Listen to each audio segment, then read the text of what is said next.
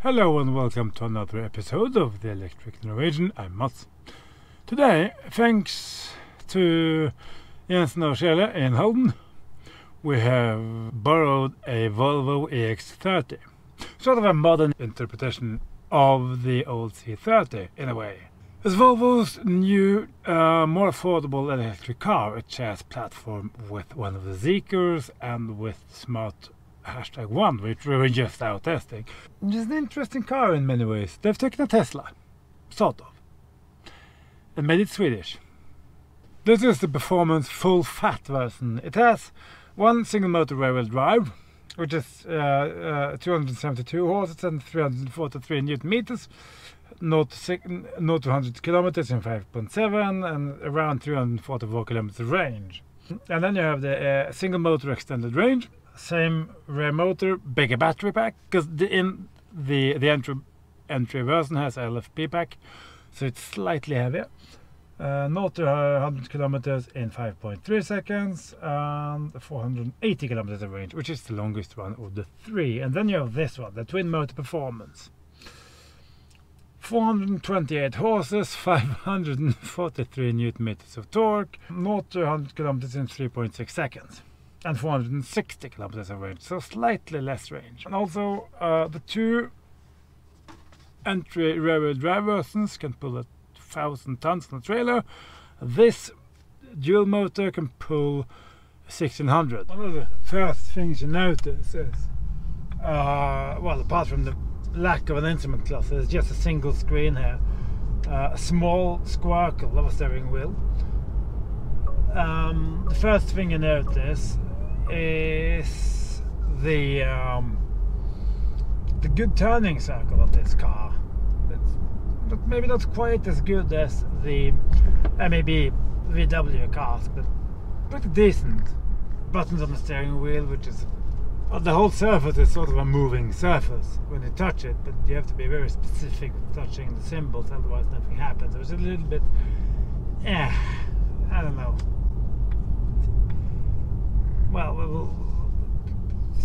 I don't know. It's, and then you have the, but the, the, interior looks decent. It's kind of a mix of uh, part pleather um, and, and, and, and, textile surfaces and plastics that are reused, at least reuse and recycled some materials, which is good, and keep them away from ending up in the ocean or whatever it is. You can also very easily go in here and turn off the EU ding dong, as I've called it, the uh, uh, speed warning. It's a lot of nice solutions to have. On it's not the biggest screen; it's 12.5 or whatever it is, but it's, it's well designed. The user interface is pretty decent, and also, of course, this runs Android Automotive, so you have voice control, Google.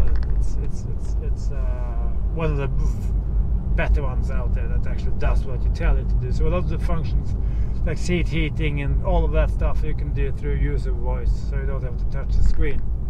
And it works decent enough. We were at 85% and we have 184 kilometers indicated. It's supposed to do like I said 400 and whatever it was 60 or something. But it's a cold windy day today.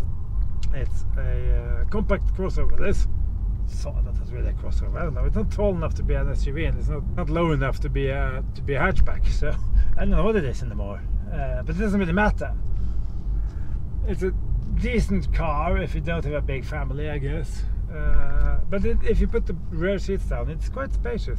You can fit longer things in on the diagonal. One pedal driving, uh, you can turn it easily on and off here. Uh, it's very well judged unlike in the XC40 and stuff, where it's a little bit too aggressive. Here, the sound system here is by the Harman Kardon uh, kind of a sound bar in the front. I think that's almost the only speaker in the entire car, which gives the sound a little bit, but it's a little bit strange because we're used to in cars that the noise comes from different sources around the car. Here it's almost from one direction so it, it, it, it, it, it's a little bit off in that way. The rear seats are kind of well, it's not the biggest car this, so I can sort of fit halfway almost beside behind myself but um, not the best space for uh, for legs massive panel roof is moved so far backwards that head space is not a problem but uh, leg space for taller or long-legged people is sort of an issue it's okay for shorter shorter trips but you wouldn't want to sit there for a long trip. That just doesn't work out. The rear seats in themselves is okay, but sort of it's missing a ski hatch and it's missing a rear armrest with cup holders and it's kind of it's a bit of cost cutting every here and there. It, that, it doesn't have a head-up display. That's that's okay. Okay, I can live with that. I've driven too much Model 3 to care actually, and this center screen it works The front seats have gotten a bit of flack for being not comfortable enough. I find them to be okay. I must say. The pillow is a little bit short maybe for my long legs. But I can sort of live with that. The rest of the seat is okay. It's, it's, it's not the most supportive in the entire world, but then again, this is not a sports car, even though it is a performance bus. But the car is quick. There's no doubt about that. Even on these winter tires, which are soft, they can feel the power when you ask for it. Definitely. And all the quirks with the moving um, holders and stuff in the center console and the sort of not lack of storage because there's plenty of storage down on the floor here and you have your dual chargers and everything. Uh, it's kind of clever solutions uh, and, and, and, and the door pockets are big enough and also I like this interior uh, door handle of, of, it's probably not metal but it looks like metal and it halfway feels like it it might be metal I don't genuinely don't know uh, but it looks good kind of minimalist, like the rest of the interior. And the plastics here are, they don't really feel cheap. They don't feel terribly upmarket either, but they don't feel cheap. And that's sort of important.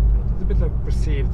The, the only exception there are the slight bit of, uh, of piano black around the, the buttons for the electric windows uh, in the center and the buttons on the steering wheel. That's just a big flat plane of piano black.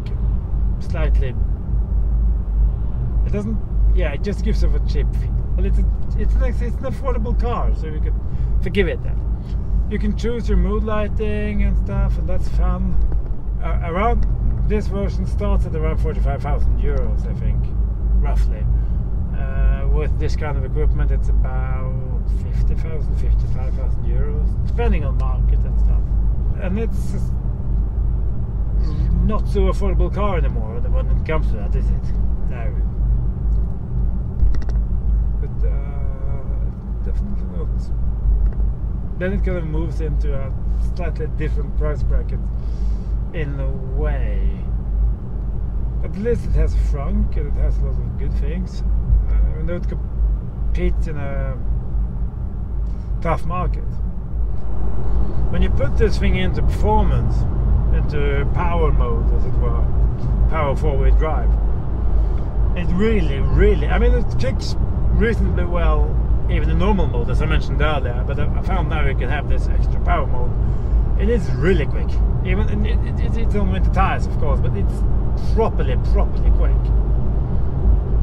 Um, and, and then when you begin to push it a little bit, the suspension that can be a little bit stiff around town. Settles down. And the car feels nicely judged, well, very well controlled, nicely judged suspension. Uh, sound levels are surprisingly, they're not really that high, but they're not much worse than in the Volvo C40 and XC40, which I drove or the EX40, whatever it's called. This car's biggest siblings, siblings anyway. And they cost considerably more than this. It has a frunk, it's a tiny frunk, but it's there, and you can use it to put charge cables and gloves and window washer fluid and all that stuff you normally lug around with. Uh, BMW can't bother to give you one, but Volvo can. So that's good. And uh, the trunk is decent enough. Gives you plenty of smart solutions. This car. It's full of good ideas, and it looks like a Volvo. It looks like a modern Volvo. I like the exterior of it. It's yes, I can live with it. It looks a little bit strange with the split uh, uh, rear tail lights and stuff, but I get used. To, you want to get used to it. Thinking, okay, yeah, this is a modern modern Volvo in the sea of white Tesla Model Ys. Trust me, there is a sea of white Tesla Model Ys in this country. And then the cars like the Volvo and others, like Jag, which is sadly now out of production, I think, they stand out with their ident- with their own unique design and, and, and, and, and character. Green is it's good. When you begin to I wish it was a little bit bigger so you can have your trip meter on. You can have your you can you can have more information on it at the same time. It's a little bit too small to carry all that, uh, which is sad, but that's how it is. So far, we, we had a consumption of uh, 233 watt hours, which is perfectly right, I guess. We're at 65%, indicated 151 kilometers. So it's a decent thing to drive this. It's,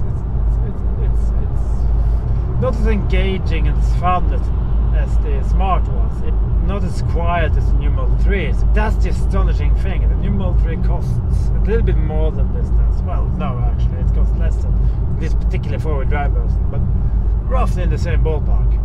The um, the uh, starting price on this is cheaper than the Model 3, but strikes you with the with the Tesla is just they've done such a good job of the with the sound and sound insulation in that car and the suspension of it. Once again, they moved the goalposts, I guess. If you're a couple or you have occasional kids or occasional friends, uh, then you can live with this just fine. If you want the dealer network of the Volvo, you want the safety and the, you know the tradition of the Volvo. Like we, we past just earlier now the Volvo, Volvo Amazon station wagon, which is this car's old, old, old family. If you want part of that, and you can't buy a BYD or a Hongqi or or, or, or, or a Tesla or anything else because it doesn't have any of that. This is yeah, there's dealers that's been selling Volvo for donkeys, and people have a have a um, attachment to them sometimes. You know, cars is emotions, and cars is so much more than numbers. I saw someone here coming up with uh, a comparison between the Tesla Model Y and the BYD Atto 3, and it was uh, blah blah blah blah, and the Tesla came out on top because the Model Y is it's the world's most sold car model for a reason. But as I said, cars are more than that. Cars are emotions. Cars are details. Like what, you know, some people are going to be annoyed by parts of this interior. I know that. They're going to be annoyed by little things. You know, the frameless side mirrors, for instance, which is a bit strange because I'm not used to them. We're sort of gone around now. We've done, since we picked the car up, we've done 195 196 kilometers. We have uh, 28% left and uh, 68 kilometers. So between 250 and 300 kilometers, probably closer to 300 on a day like today. It's now one degree outside, so in the the optimal conditions. Anyway, and we've been driving a little bit uh, the power and stuff. So there's no matrix sadly. It's just on off automatic. This is the fastest Volvo ever. It not 100 kilometers an hour in 3.6 seconds. And it's really, really quick. We haven't had an average, by the way, of 240, uh, 248 watt hours, which is 24.8 kilowatt hours per 100 kilometer if you prefer that. I don't know if there's any chassis differences on this and the starter car here, the rear wheel drive. short range version. But the steering, suspension, a little bit stiff around town, but once you get some speed into it and it sort of make it work, it's good. Not too stiff and not too soft. Nicely judged. This is after all not a sports car. And this road is atrocious. This hard long winter has been dreadful on our roads. It's full of bumps and lumps and stuff. But the lights are okay. They're pretty bright as you can see straight ahead. So I like it. I like it. Also, it's a fun car. It's a fun Volvo this. You can feel the power of the thing just wanting to go. Um, just a little bit more range on these lights, but they're alright.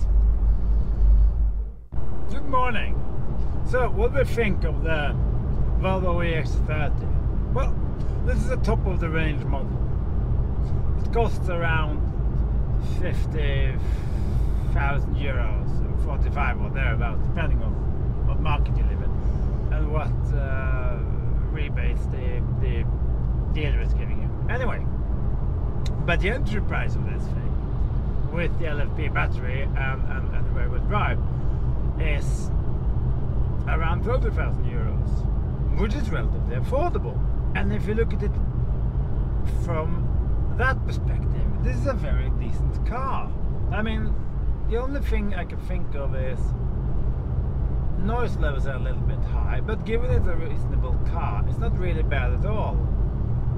Sound system is a little bit, I won't say lacking, because it really isn't bad. It's just, it's better than, it's better than a Model 3. But a Model 3 is not as cheap as this. It's more expensive, at least, until Tesla decides to drop the prices again. Who knows? But that's by the by range is actually it's not half bad. Could always have been a bit better, particularly on this version considering the price, but it's not too bad. The uh, infotainment system is full of clever little things, and when you use your, the buttons on the steering wheel, the the uh, function pops up on the screen, and it, it's a well thought out system. It's a good system. I like it. As for space, it's um, it's not a big car. It's a little bit bigger than a Golf actually, because I parked next to a Golf in the morning now when I charged at home. And it's about the same size, it's a little bit bigger, but so space-wise it's alright actually. It's not half bad at all. One thing I noticed in the morning though, and this has to be a setting somewhere which I haven't found, which really made me rather annoyed. I plugged it in in the morning because I was thinking I was I came home after testing yesterday 20% or whatever. And we plug it in a few hours, get a few get a few kilowatt hours into it, you know, so we don't have to deliver it completely empty. It was just completely slow charging because I left it for a few, a few hours. It had 24%. And, well, the truth was more than that because uh, the charger is capable of giving oh, 7 kilowatts. So it should have given at least 7 at least 14 to 20 kilowatt um, kilowatt hours, which, but whatever. Uh, it's a setting somewhere probably. I hope anyway. But apart from that, the Volvo EX30 is a decent car, good car for the money. And if you don't have a kid, if you're just you and the kid, you have decent luggage space. It's quick. It's fun. It's actually quite engaging to drive this in a everyman kind of way. It's relatively well equipped. Even though if you go for the uh, lower spec versions, you don't get the giant sunroof and there's a few things uh, you lack, which you can discuss should be standard or not. I don't know. Depends on where you where you stand on that, I guess.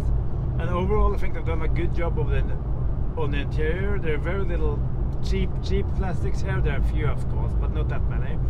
Um, range wise is decent. It probably charges relatively quickly as well. I have to try the quick charging myself now because yeah, because of charging foolishness of it at home. I like the interior of it, I like the materials, I like the look of it.